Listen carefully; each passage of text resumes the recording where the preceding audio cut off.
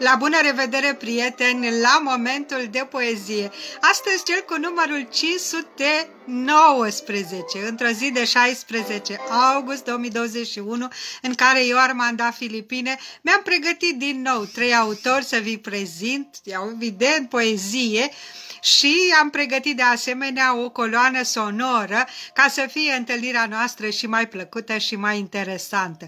Pentru momentul, repet, cu numărul 519, nu m-am oprit deloc în această pandemie, care, după câte ați observat, nu se oprește nici ea. Deci, pentru acest uh, moment am pregătit, uh, am căutat pe YouTube, să știți că um, vreau să fie lucruri noi, lucruri deosebite. Bineînțeles că pentru iubitorii muzicii Camille Sensa nu este nou, dar noi n-am mai ascultat Carnavalul Animalelor, ceea ce cred că se aude. Înregistrarea este, așa cum știți, piesa când mai puternică, când mai lentă, dar uh, v-am dat sugestia, deci căutați Camille Saint-Saëns, uh, Carnavalul Animalelor și ascultați și singuri, dacă acum nu se aude foarte bine. Deci să trecem la poezie, dragii mei.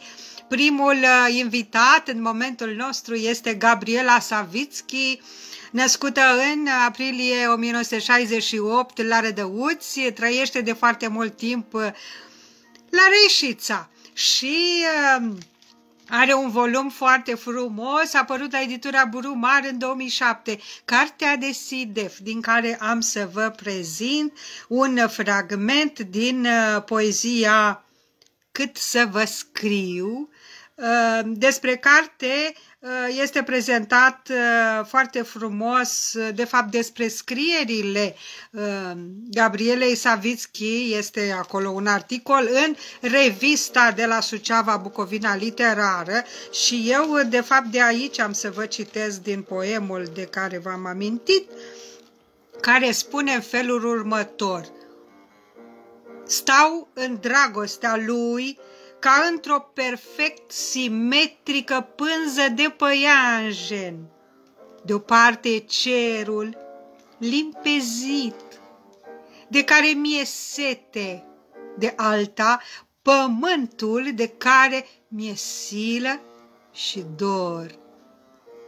Mai am foarte puțin până să mor.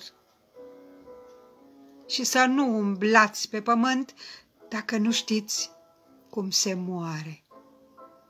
Iată, o superbă poezie, chiar dacă eu v-am prezentat doar un fragment, să căutăm cartea, cartea de Sidef, editura Brumar și autoarea Gabriela Savitski.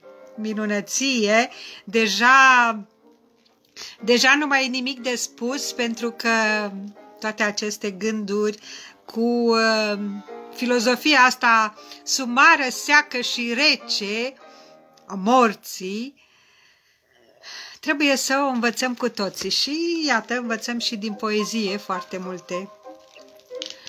Așa, din pastilele astea foarte mici și foarte condensate.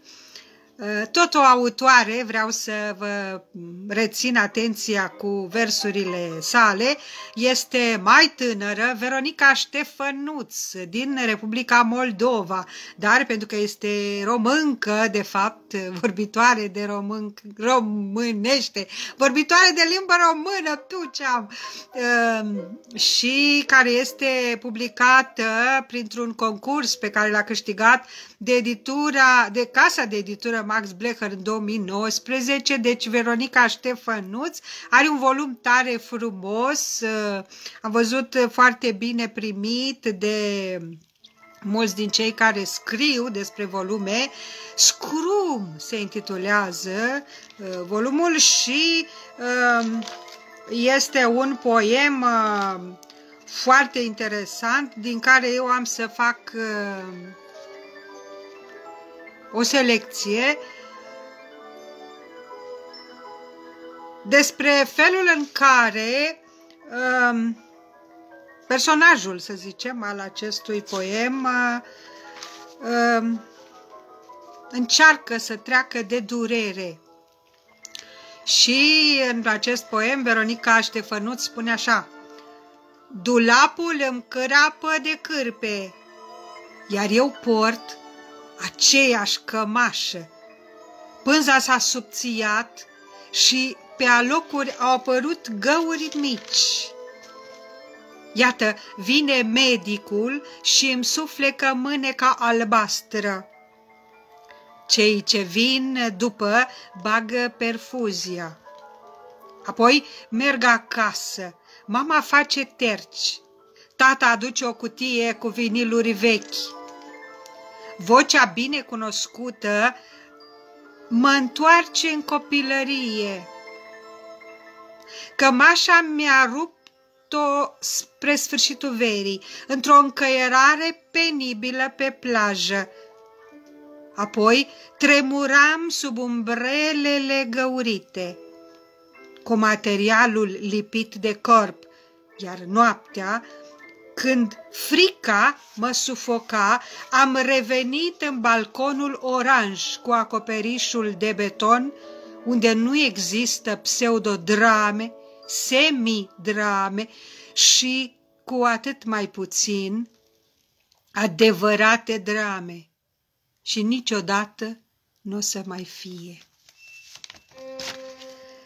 Un poem aparent, aparent simpluț ca tematică, în realitate extraordinar de tensionat și dacă la început lapul crapă de haine, la sfârșit îți dai seama că personajul din povestirea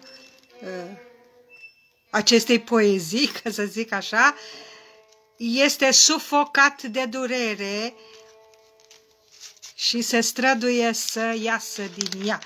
Așa cum uh, a încercat să iasă din cămașă, dar până la urmă n-a ieșit, nu? Doar uh, i-a suflecat medicul mâneca albastră Veronica Ștefănuț, iată încă un autor pe care merită să-l lecturăm și măcar acest volum de căutat, Scrum, casa de editură Max Blecher,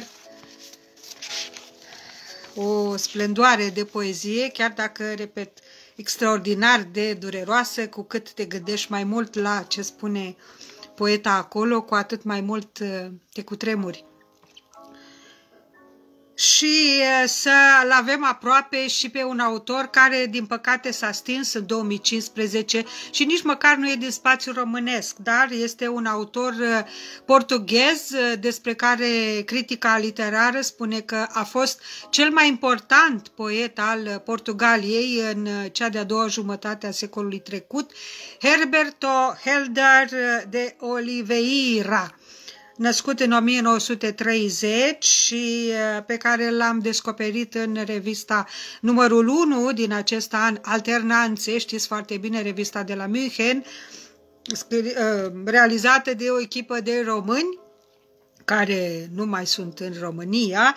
Și găsiți revista, nu vă mai spun, dar pentru cei care nu știu, e bine să reamintim, revista are site, găsiți toate numerele acolo pe site, inclusiv uh, acest număr 1, cred că e urcat pe site, uh, și Dinu Flămând uh, spune acolo că l-a cunoscut pe Herberto Helder și um, de aceea l-a prezentat cu mai multe poeme în acest număr de revistă Alternanțe. Eu am ales, cum știți că fac de obicei, un poem mai scurt, pentru că e mai bine să fie așa, condensată poezia și să nu plictisim pe cei care citesc rar și puțin poezie, uh, sau pe cei care, în fine, vor să treacă repede așa peste momente, nu? Dar e bine că ne întâlnim cu acești autori. Poemul se intitulează Prietenilor mei. Deci portughezul, regretatul portughez Herberto Helder îmi iubesc pendelete prietenii care sunt triști și au câte cinci degete pe fiecare latură. prietenii care înnebunesc și stau așezați cu ochii închiși, lăsând în urma lor cărțile să ardă în veșnicie. Nu-i chem, iar ei se răsucesc profund în lăuntrul focului. Avem un talent dureros și întunecat, construim un loc de tăcere, de iubire profundă. Ah, frumos și dureros acest poem și îmi place teribil că e dedicat prietenilor mei, dar e clar că prietenii ăștia, chiar dacă sunt triști, s-au cam dus cu cărțile lor cu tot, așa cel puțin simt eu, acest poem al, repet, regretatului portughez Herberto Helder de Oliveira. Și ascultăm încă un pic Camille Saint-Saëns pentru că sau nu pentru că e carnavalul animalelor, cu toate că partea animalică din noi s-ar putea să nu se bucure, dar partea aia umană din noi se bucură pentru că un autor clasic e întotdeauna demn de atenție și ne uh, provoacă să îl urmărim cu atenție, așa cum sper că și poezia bună reușește să ajungă până la urmă la inima, la ochiul și la mintea cititorului.